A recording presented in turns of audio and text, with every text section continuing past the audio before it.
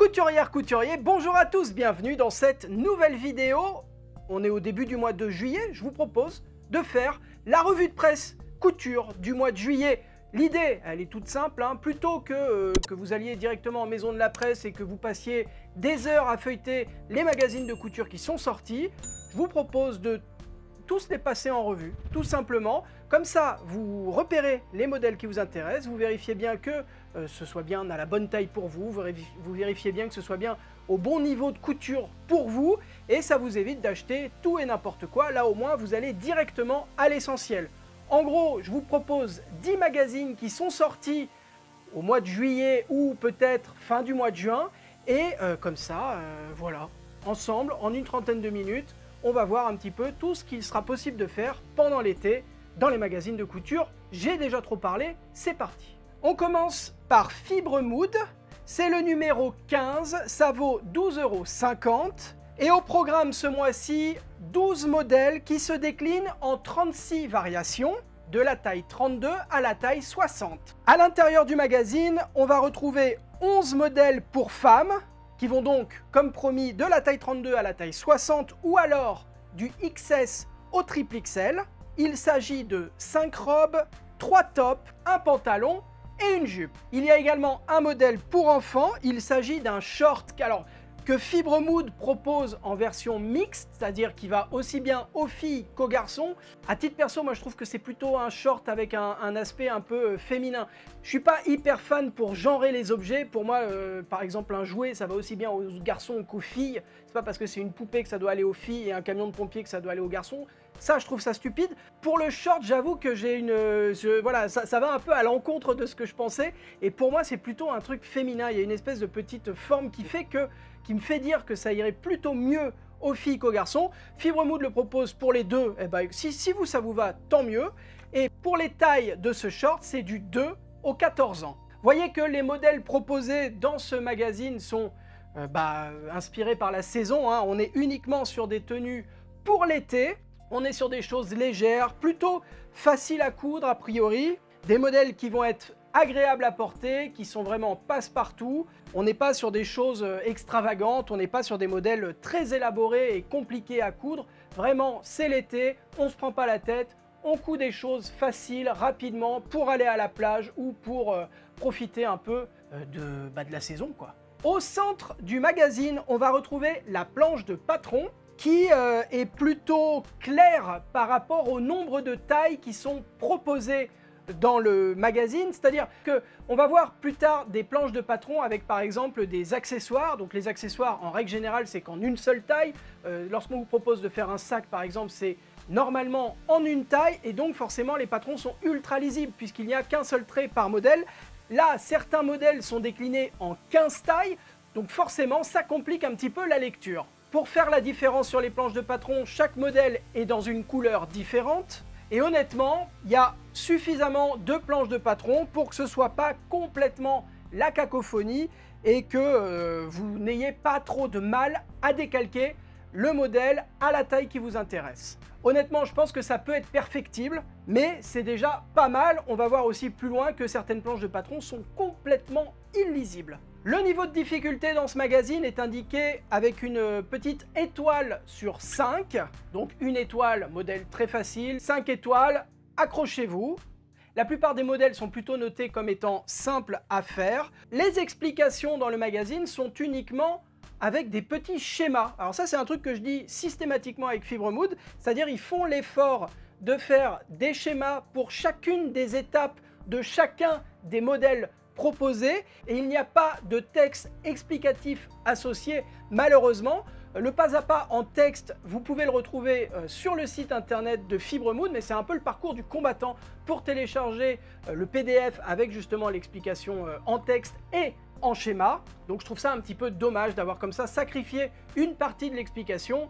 Euh, bah, sans doute pour gagner un petit peu de place et de, lisibilité dans, tout ça. Mais voilà, pour moi, il manque à chaque fois quelque chose et je trouve ça dommage d'être obligé d'aller télécharger euh, les explications en texte sur le site internet de la marque. Mais très grand bravo de faire systématiquement un petit schéma pour chacune des étapes parce que, encore une fois, si vous n'avez jamais cousu ou si par exemple euh, vous ne parlez pas français, alors bon évidemment vous ne serez pas là en train de me regarder, mais euh, ça vous permet juste en regardant les images de comprendre à peu près comment faire les choses. Moi j'aime bien toujours avoir ce petit support de texte également pour être sûr de bien avoir compris ce qu'il faut faire. Voilà pour le magazine Fibre Mood. On passe à la maison Victor. C'est le numéro de juillet-août, ça coûte 9,95€ et à l'intérieur on va retrouver 12 patrons ensoleillés.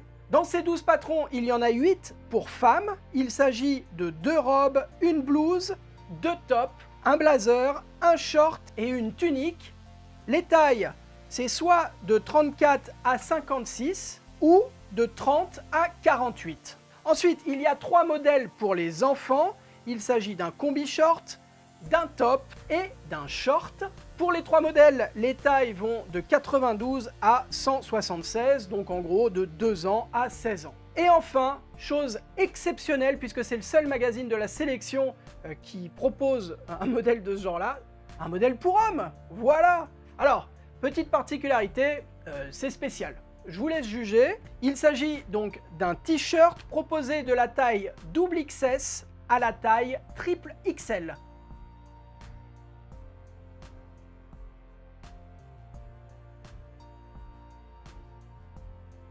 Au centre du magazine, on va retrouver la planche de patron qui est au même format que celle de Fibre Mood. C'est cette espèce de carnet euh, qui peut se détacher. Alors, on retrouve ici les mêmes avantages et les mêmes inconvénients que pour Fibre Mood, c'est-à-dire c'est plutôt lisible, ça pourrait être bien pire, et encore une fois, la complexité est due au nombre de tailles proposées par modèle, qui charge forcément énormément les planches de patron, mais c'est aussi euh, bah, l'assurance de pouvoir trouver des modèles à sa taille quelle qu'elle soit. Chacun des modèles se différencie par une couleur sur les planches de patron, ce qui nous évite eh ben, de confondre, hein, de décalquer la pièce d'un autre modèle dont on n'aurait pas besoin. Pour les explications à l'intérieur de la maison Victor, bah, pour le coup, eux, ils ont tout compris. C'est-à-dire que nous allons avoir des explications avec des petits schémas étape par étape, ainsi qu'un texte qui explique ce qu'il faut faire. Et euh, là-dessus, je n'ai rien à dire, c'est vraiment extra de faire ça, d'être aussi précis, et ce pour chacun des modèles. La difficulté est indiquée avec une note sur 4, ce qui vous permet d'éviter d'être surpris ou surprise lorsque vous avez commencé un modèle. Si vous avez un niveau débutante ou débutant et, que vous vous engagez sur un modèle avec un niveau de difficulté avancé, bah voilà, vous ne pourrez vous en prendre qu'à vous.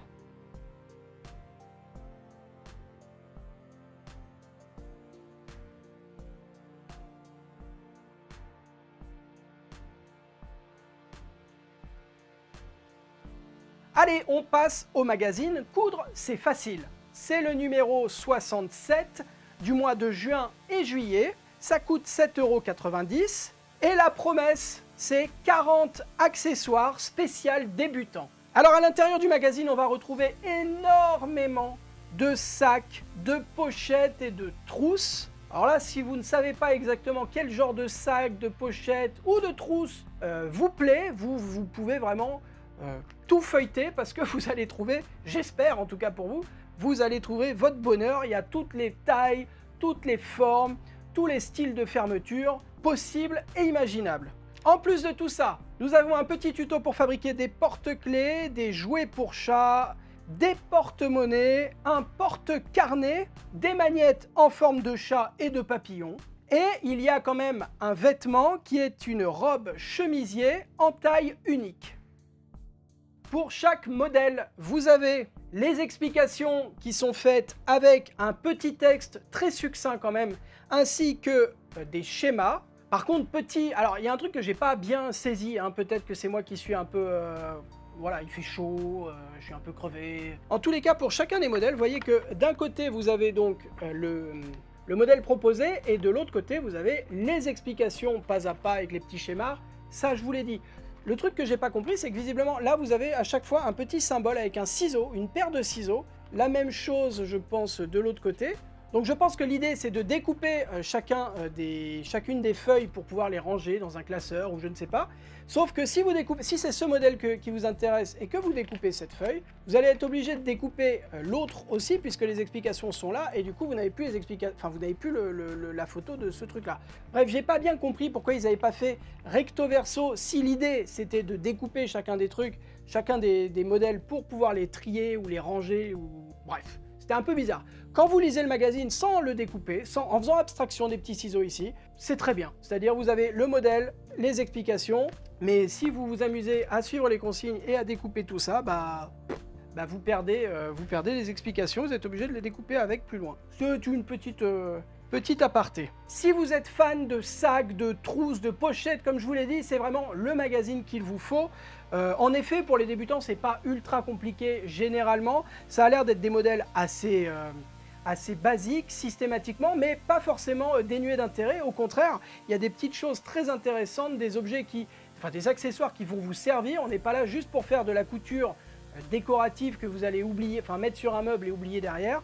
Donc ça c'est plutôt cool, ce sont des choses qui vont vous servir, que vous allez pouvoir offrir si vous voulez. Donc pour ça c'est très bien. Moi j'aime pas trop tout ce qui est euh, couture pour coudre en fait. Si c'est juste coudre pour coudre, j'ai jamais bien compris euh, l'intérêt. Moi j'aime bien faire des choses qui servent.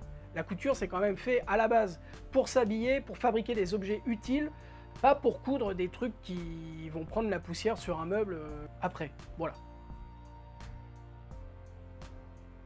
À la fin du magazine, on va retrouver la planche de patron qui est très simple à lire puisqu'il s'agit principalement d'accessoires et même le seul modèle proposé est un modèle en taille unique. Donc euh, voilà. Même si certaines pièces se chevauchent euh, ça reste extrêmement lisible et c'est plutôt agréable. Voilà pour coudre c'est facile. On passe au Burda Style hors série Best of Kids. Donc c'est le hors série numéro 103 La promesse, c'est 18 modèles pour filles et garçons en taille 92 à 164. Et alors, je vous l'annonce d'entrée de jeu, c'est pas vrai en fait. Tous les modèles, même aucun modèle en fait, ne commence à la taille 92 pour aller jusqu'à la taille 164. C'est à chaque fois euh, des petits blocs de 4-5 euh, tailles. Donc n'espérez pas faire un vêtement pour votre enfant euh, de la taille bébé à la taille quasiment adulte parce que ah, ça n'est pas le cas. À l'intérieur du magazine, on va retrouver 8 robes, une robe salopette, une tunique, deux shorts, un maillot de bain euh, pour filles, une pièce, une combi, un sweat, une parka, un t-shirt et un top. La difficulté dans ce magazine est indiquée sur une échelle de 4 et les explications sont uniquement en texte. Donc pour ce hors-série, si vous avez des gamins à habiller, vérifiez bien cependant si le modèle qui vous intéresse correspond bien à la taille, à la morphologie de votre enfant, puisque comme je vous l'ai dit, euh, aucun modèle ne va de la taille bébé à la taille adulte, enfin adulte 164, voilà, taille 14-15 ans. Euh, donc faites attention à ça, faites attention à ne pas euh, être déçu parce que le modèle sur lequel vous aurez flashé ne sera pas disponible à la taille de votre enfant.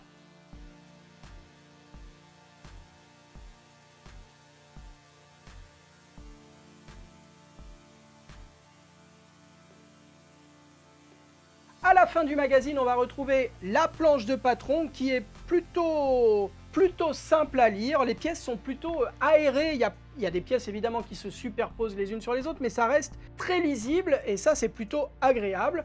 Pour chacun des modèles, il y a une couleur différente qui est utilisée afin de ne pas euh, les mélanger, pas recopier la mauvaise pièce. Donc c'est euh, pas mal. Allez, on passe au magazine. Coudre, c'est facile, mais cette fois, le hors-série. Au programme, duo couture filles et garçons pour un été torride. Je ne sais pas s'il y a que moi que ça met un peu mal à l'aise de parler de filles et de garçons, enfin d'enfants, euh, et d'ajouter le mot torride. Mais bon, voilà, c'est l'idée de ce magazine en tout cas. Au programme, on nous propose 3 modèles de la taille 3 à 24 mois et 69 modèles de la taille 2 à 8 ans. Donc un été torride avec 69 modèles. Bien joué, coudre c'est facile, hors série. Au programme, pour les bébés, on a des bloomers et un bavoir. Et pour les enfants euh, de taille 2 à 8 ans, il y a des jupes culottes, des bermudas, des t-shirts et des maxi t-shirts, une robe à collerette, des jupes, une blouse avec col marin, que vous pouvez d'ailleurs transformer en robe avec col marin. Col marin, c'est l'espèce de, de col à l'arrière, vous savez, comme Donald Duck. Voilà, c'est original. Il y a des bobs, des chapeaux, une casquette, des tenues de baseball, un polo que vous allez également pouvoir transformer en robe polo. Et c'est assez rigolo ce magazine parce que clairement, c'est des, modèles qui ont été achetés euh, en, Asie et je pense même particulièrement au Japon. Et on retrouve un peu le style, euh, le style un peu manga sur certaines tenues. Euh, il y a des... Quand, on feuillette un peu comme ça le, magazine, il y a des modèles qui font un peu penser à certaines planches de manga, je trouve. Je suis pas un grand spécialiste euh, des mangas, mais il y a certains, certains shorts, certains Bermudas un peu larges qui m'ont fait penser un peu à des trucs genre Dragon Ball quand les gars s'entraînent. Voilà, ce petite parenthèse euh, rigolote. Donc le style est un peu différent en fait de ce qu'on va pouvoir trouver en Europe, mais c'est intéressant aussi. Il n'y a pas de niveau de difficulté indiqué, c'est un peu au petit bonheur la chance euh, selon le modèle que vous allez choisir, mais chaque étape pour chaque modèle est décrit avec un petit schéma ainsi qu'un texte explicatif, donc ça c'est carrément bien. À la fin du magazine, on retrouve les planches de patron qui sont assez claires, facilement déchiffrables. Les modèles s'entrechoquent évidemment sur les planches, mais ça reste très lisible. Encore une fois, le magazine utilise différentes couleurs pour différencier les différents modèles. Donc ça, ça permet quand même de bien comprendre à chaque fois ce qui se passe. Je pense que ce qui facilite aussi la lecture, c'est que euh, les modèles sont proposés à chaque fois en quatre tailles, ce qui facilite forcément la lecture vu qu'il y a moins, moins de patrons en tout au final. Voilà pour le hors-série de Coudre c'est facile. On passe à Passion Couture Créative. C'est le numéro 33 de juillet, août, septembre 2021. Ça coûte 7,90€. Alors ce magazine, moi je l'aime bien, euh, franchement, il y a des projets qui sont plutôt sympas. Je trouve juste ça un petit peu euh, foutraque par moment. Il y a un peu tout et n'importe quoi. Euh, et, je trouve ça un peu bizarre, mais bon. Passons en revue les modèles proposés. Il y a donc une robe de la taille 34 à la taille 48, une robe tunique de la taille 36 à la taille 44, un tapis de jeu en forme de baleine, une blouse pour enfants manche ballon, mais alors là très bizarre, en une seule taille, en taille 7 ans. Si votre enfant met plus petit, bah tant pis. Si votre enfant s'habille en plus grand, tant pis aussi. Euh, il n'y a qu'une seule taille, c'est du 7 ans. Si c'est pas la taille de votre gamin, ça ne servira à rien. Il y a également une trousse, un sac serviette de plage, un sac en wax et raffia, un coffre de rangement, une broche en tissu et alors, quand je vous disais que c'était un peu foutraque, une poche pour cubi de vin. Également dans ce magazine, pas mal d'articles autour de la création, de la couture, des, des, loisirs créatifs, avec par exemple une interview de Zakadi, mais aussi un article sur la tapisserie, du 15 au 21e siècle, plutôt, euh, plutôt intéressant d'ailleurs. Donc voilà pour Passion Couture Créative. Comme je vous l'ai dit, moi j'aime bien ce magazine, mais je suis toujours un peu surpris des fois par ce qu'il propose. Euh, bon, la, blouse en une seule taille, je trouve ça un peu maladroit. La poche à cubi, alors personnellement je vois pas d'alcool, donc forcément peut-être que ça me parle pas. Mais, euh, mais pareil, je trouve ça peut-être un peu... bref. Dites-moi d'ailleurs dans les commentaires, une poche à cubi, vous la faites ou pas vous, est -ce que ça vous est utile? Est-ce que c'est quelque chose qui vous intéresse? Euh, dans quel cas, si c'est le cas, bah, vous savez où vous trouvez le, patron. Mais euh, voilà, moi je trouve ça un peu, euh, peut-être un peu étrange. Allez, on passe à idées à faire. C'est le numéro 34 de juillet et août. Ça vaut 6,90€. Et Idées à faire, c'est un magazine touche à tout. On va évidemment parler de couture, parce que sinon bah, je ne vous présenterai pas le magazine, mais on va aussi découvrir de nouvelles activités, notamment une activité autour du cuir avec la couture d'une pochette pour smartphone. Il y a la fabrication d'un collier, de la broderie pour une casquette façon un peu euh, la vague d'Okusai. Il y a du crochet avec un déguisement d'hawaïenne et également la fabrication d'une petite poupée euh, style hawaïenne avec sa planche de surf. Il y a du bricolage, du macramé, du tissage Miyuki, de la cuisine, de la mosaïque et un petit peu de cosmétique avec la création euh, d'une huile solide. Et pour la partie couture, on a une serviette de plage patchwork, un sac de plage, un cabas réversible, un sac à coquillage, une robe d'été pour femmes en taille unique, un top pour femmes en 8 tailles de la taille 34 à la taille 48, une tunique taille unique, une jupe sans patron, une robe pour enfants de 5 à 7 ans et une blouse pour enfants de la taille 2 à 12 ans. Donc cet été, si vous n'avez pas vraiment l'intention de faire uniquement de la couture, si vous avez envie de toucher un petit peu à autre chose, peut-être découvrir euh, le crochet, peut-être découvrir euh, le bricolage ou la faïence, là on propose par exemple de faire des mosaïques avec des, morceaux de des morceaux de d'émail, des mots, je sais pas comment on dit, de faïence, de, des restes de... Enfin bref. Si vous avez mangé de la couture pendant toute l'année, peut-être que cet été vous avez envie de toucher un petit peu à autre chose, de découvrir autre chose. Le tissage Miyuki par exemple, vous savez ce que c'était vous? Bah moi non. Donc voilà, beaucoup, beaucoup de choses à, découvrir. Un magazine qui est plutôt euh, simple à lire. Pour chaque modèle, alors soit c'est des modèles où il n'y a pas besoin de patron et dans ce cas-là tout va bien, soit c'est des modèles avec un patron à télécharger et dans ce cas-là il y a un petit QR code sur le magazine qu'il suffit de scanner euh, pour obtenir le patron numérique. Et pour chacun des projets dans ce magazine, vous avez systématiquement le niveau de difficulté ainsi que la durée approximative et le coût que cela va vous coûter euh, pour faire ce projet. Donc au moins, il n'y a pas de mauvaise surprise à ce niveau-là. Allez, on passe au magazine Burda Style. Ça coûte 6,95€. C'est le numéro de juillet, le numéro 259. Là, on sent que Burda a fait un effort parce que d'entrée de jeu, il propose un modèle avec un tuto vidéo. C'est nouveau hein, pour Burda. Il y a Burda Easy qui faisait ça depuis un petit moment, c'est-à-dire systématiquement il y avait l'un des modèles qui était filmé, enfin dont le montage était filmé étape par étape et mis sur la chaîne YouTube.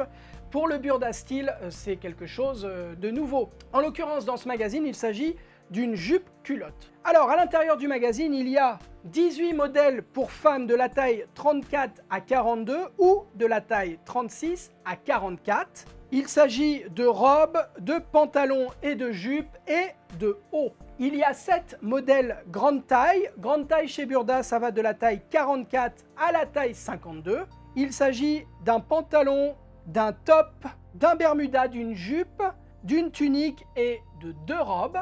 Et enfin, il y a 4 modèles enfants. Enfants chez Burda, c'est de la taille 104 à la taille 128, donc de 4 ans à 8 ans. Il s'agit d'un t-shirt, d'un pantalon, d'un bermuda et euh, d'un poncho qui peut aussi se transformer en cape de bain. Au niveau du style, on est vraiment sur des modèles euh, tendance pour l'été. Là-dessus, Burda, c'est plutôt une valeur sûre. Hein. Je sais que euh, peut-être que dans l'imaginaire des gens qui connaissent pas bien Burda, ça a un peu une image vieillotte. C'est le cas, je trouve, sur les patrons pochettes que peut proposer la marque. Mais pour le Burda style, c'est vraiment différent. Le niveau de difficulté pour chaque modèle est indiqué avec une échelle sur 4. Au centre du magazine, on va retrouver la planche de patron qui est plutôt un peu, bordélique, hein, disons-le, avec énormément de modèles qui s'entrechoquent, qui se, qui se chevauchent sur les planches de patron. Heureusement, le magazine fait l'effort d'utiliser différentes couleurs selon les modèles pour éviter de confondre les pièces, mais ça reste, euh, en tout cas à vue de nez, plutôt compliqué à déchiffrer. Les explications sont uniquement en texte, malheureusement, sauf pour deux modèles. Il y a une robe ainsi qu'une jupe midi qui sont expliquées étape par étape avec des schémas à la fin du magazine. Donc ça c'est plutôt cool. Ils font donc cet effort de filmer un tuto pour l'un des modèles euh, sur YouTube et euh, pour deux modèles de le faire avec des explications étape par étape. Donc ça vous permet de au moins avoir une chance de réaliser euh, trois modèles euh, en étant vraiment pris par la main, accompagné par la marque euh, pour réussir votre couture. On passe à Elena Couture. C'est le numéro 93, ça coûte 6,95€ et au programme ce mois-ci, c'est un look parfait au quotidien. À l'intérieur du magazine, on va retrouver des pantalons, des robes, des shorts, des jupes, une combinaison, un manteau. Alors après pour couture Elena, bon bah faut aimer le style, hein. c'est pas ultra ultra moderne pour le coup. Euh, les, modèles font un peu vieillot, je trouve. Ce qui me fait me demander en fait si ce genre de magazine recycle pas un petit peu les modèles saison après saison. J'ai euh, de temps en temps dans les commentaires des personnes qui me disent Oh là là, ce magazine, je l'ai, mais ça fait 4 ans que je l'ai en fait. Et du coup, je me dis Purée, en fait, les, euh, certains éditeurs se prennent pas trop le chou, reprennent d'anciens magazines et les reboutiquent en fait pour sortir un nouveau magazine, un nouveau magazine avec des, anciennes choses en fait, sans euh, ni toucher les patrons, ni toucher les photos qu'ils ont faites à l'époque, ni toucher peut-être les explications. Bref, là le, style paraît quand même un peu, un peu daté, je trouve. Et, et, donc je, voilà, je me pose la question, est-ce que vous avez déjà vu ce magazine il y a quelques temps? Et si oui, n'hésitez pas à vous manifester en commentaire, c'est intéressant. Au centre du magazine, on va retrouver la planche de patron qui, merci, est en deux couleurs, en rouge et noir. Comme dirait Jeanne Masse, j'adore. franchement, je crois que je fais cette revue de presse juste pour pousser la chansonnette sur ces trois notes. C'est vraiment mon petit moment de plaisir. Retrouvez-moi très vite sur France 2, à n'oubliez pas les paroles. Encore que je ne connais pas les paroles de cette chanson, et pourtant c'est les paroles que je connais le mieux de chansons. Bref, je vais pas aller très loin, je sens. La planche de patron est, pas ultra claire. Hein, euh. En fait, il mélange donc deux couleurs, noir et rouge, comme je vous l'ai dit, et euh, des lignes avec des formes différentes, mais qui, euh, compliquent un petit peu, je trouve, la lisibilité de tout ça. On a des espèces de petits ronds, on a des espèces de petites étoiles. C'est pas, c'est pas gégène, je trouve. Il y a vraiment beaucoup, beaucoup d'informations et c'est euh, compliqué à déchiffrer. Les explications dans ce magazine sont uniquement en texte et il n'y a aucun euh, niveau de difficulté indiqué.